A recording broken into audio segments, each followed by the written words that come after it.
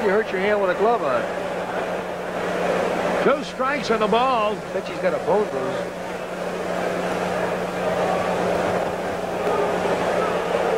Two to nothing in favor of the Yankees.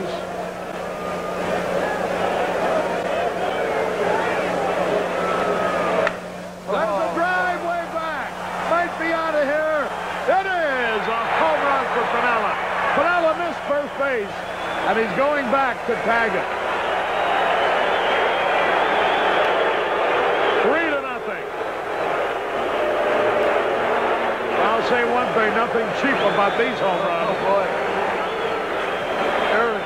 Curveball this time, but high. A high curveball. Boy, he really ripped. Boy, they're line drives. There's Graig Nettles now. Nettles hitting 255 with 13 homers.